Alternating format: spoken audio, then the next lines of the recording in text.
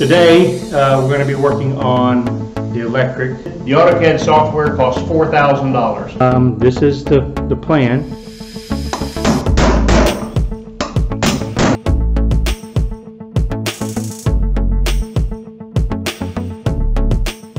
Today, uh, we're going to be working on the electric. Um, I've got all my box, or I got most of my boxes.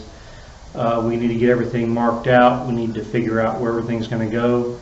Um, I've got my design with me. Um, so let's get to it.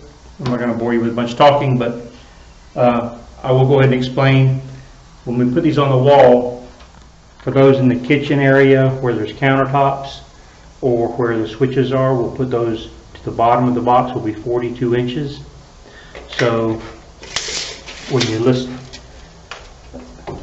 you'll see that's, I guess right about, well, you can't see that. It'll be, the bottom of the box will be right about here. Now, some people like to put them at 48 inches, but that's a little bit high for my liking. Uh, I do my switches at 42. That'll be above the finished floor, so if I was putting tile on here, I'd add a half inch. Um, and uh, my receptacles on the floor, those will generally come up 12 inches off the floor to the bottom. It's not necessarily the right way or the wrong way. Some people put them at 16 inches. So uh, we're going to do 12 and 42, so let's get started. Now the first thing I want to do is I want to fire up my laptop. Yeah, it's an old one. Uh, not that you care. It's HP. I've had it since 2006. So how old is that? and the software I'm using, which is AutoCAD, I've also had since 2006. So it's ancient software, ancient computers. But if you're interested, the AutoCAD software costs $4,000. So it's not something you're just going to run out and buy every every time you get a chance. So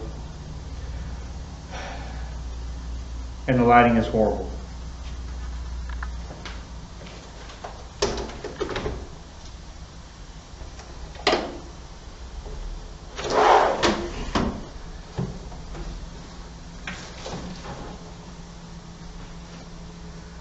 All right, while we're waiting on that thing to get started up, it'll take us time sometimes. Uh, let's talk about uh, boxes. This is a typical fan box. They're rated for up to 70 pounds for a ceiling fan. If you're going to use ceiling fans, you need to install these. Or if there's a chance that at some point in the future you're going to want a ceiling fan, you need to install a ceiling fan box. Uh, they're, they're rated for ceiling fans for, like I said, up to 70 pounds, and they install a little bit differently with some lag bolts or lag screws. So uh, that's what you need to use. I've seen people just use these regular uh, four inch boxes and while you know they have little integral clamps and they're really handy for a regular light fixture, they're not suitable for fans. But I will use this for uh, like in the bathrooms or uh, or I may just use the plastic ones in the bathroom, I don't know yet. Uh, or use these for the outside light under the uh, eave. So uh, I've got both types, fans and regular light outlets.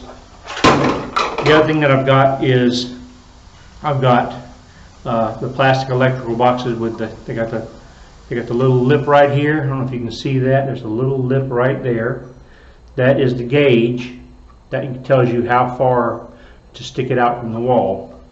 And then you just nail it in with a hammer. It comes with the nails already in it. Uh, they got the little knockouts on the back. You just knock those out when you want to put a wire in and you fasten the wire within 12 inches of the box. Now, uh, the thing about this is they come in all various sizes. These are 18 cubic inches. The 18 cubic inch box is fine for uh, up to two um, 12 gauge wires in it and a, and a receptacle. Uh, if you're going to get more than that, then an 18 inch box, well I have to do the math on it real quick, but um, 18 inch box is probably not what you want to use. You want to use a 24 inch or 21 or 24 cubic inch box. The problem with those, because we're going with a 2 by 3 stud wall here, we don't have a lot of room, we can't go with the additional depth.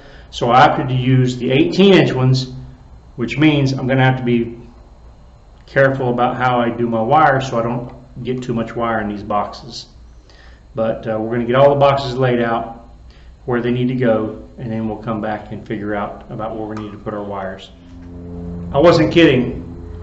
It's been maybe five or six minutes and it's still booting up the software, so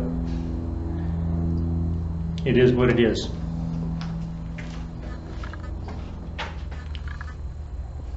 Okay, here we have it. Um, this is the, the plan. And, uh, yes, I, I did all this design work. Um, so dining room area, our outlets, uh, we got our kitchen here, and you can kind of see how things are going to lay out. So I'm going to go ahead and get started on putting all these uh, boxes where they need to go. I need a pencil. It's a baby pencil, but it'll work.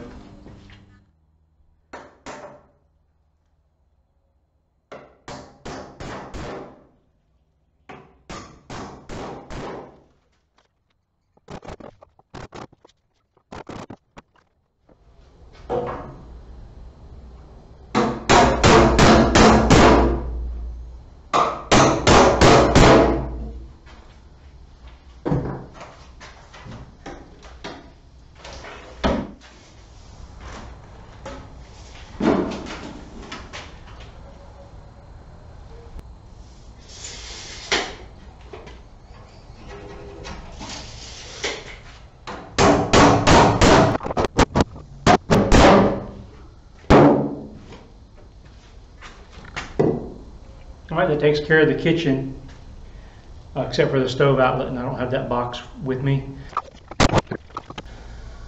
We'll run the smoke detector at 80 inches to the bottom. That way it'll catch any smoke that just wafts through this doorway.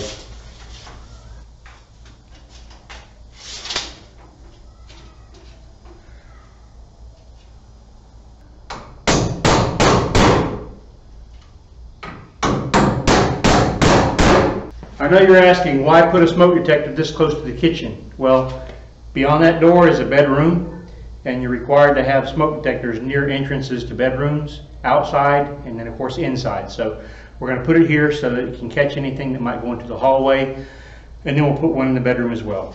Also, National Electric Code, no more than 12 foot apart on your, actually the code says nowhere on a wall that- I don't know how it's worded, but basically no space on the wall can be within, can be more than six foot from an electrical outlet.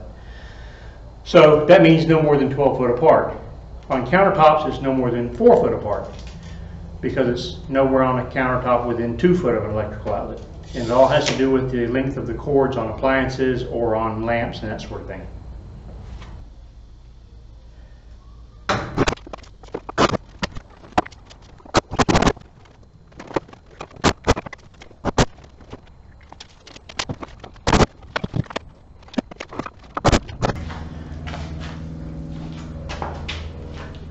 Hall light, outlet, outlet, smoke detector.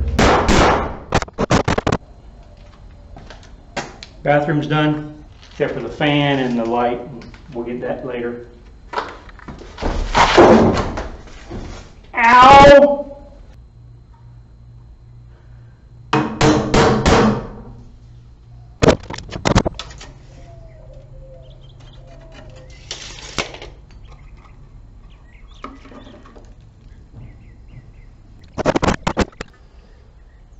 That wood is hard. It was a knot. And just in case you thought that concluded our lesson in boxes, wrong. We got another hole into the house to do.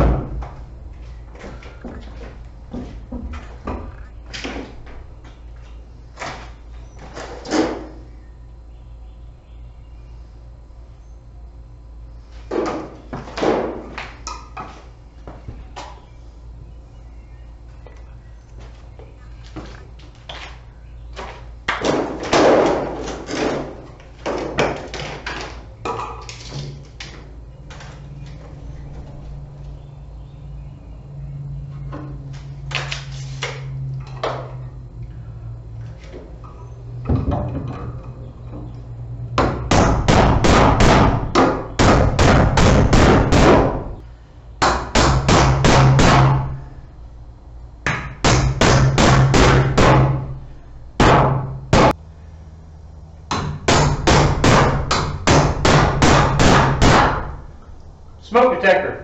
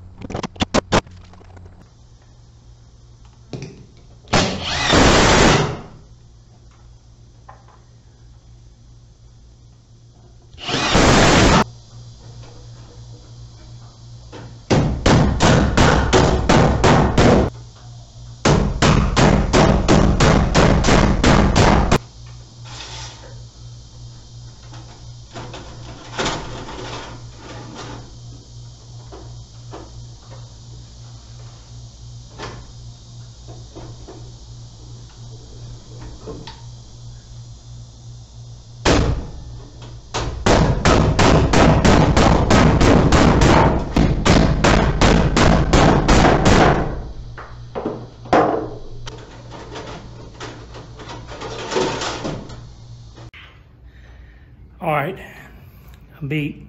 Another long day. It's been hot all day today and it started raining and now it's muggy and I just can't get cool and it's it's hot and it's about 5.30 in the afternoon. I've got somewhere to be at 7 tonight. So I've got to go home and get a shower and get changed. Uh, let's see, what did we get done today? Well, to start off, we got all of our boxes mounted throughout the house. Uh, except for the one over the, got a kitchen light going up here. We didn't get that one done, but everything is mounted now. And uh, smoke detectors in every bedroom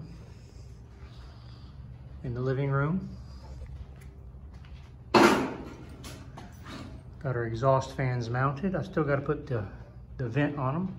We put fan boxes everywhere in the main living areas just in case somebody decides that they're going to put a ceiling fan up there. That right there is for our outside receptacle. There's a GFI. We got one in the front, one in the back. That's for our, got sunlight. That's for our on-demand water heater and our switches, our outside light, washer and dryer, closet. Got us a can light in the closet. We're gonna put an LED in there. And then we have our electrical outlets throughout the bedroom, switches, GFI, exhaust fan. These exterior GFIs here, they come with a, a strap to fasten here and they're adjustable. Um, they're really deep. They work perfect for a GFI, especially on the outside. And uh, you'll fasten them to the face and into the stud here. And then once you get them fastened, there's a little screw here. You can screw in or out and it'll adjust the depth of this. So we're gonna come back later and we're gonna put Hardie siding on this and we're gonna put a three quarter block. This is gonna have to come out three quarters. So we can adjust this right on out.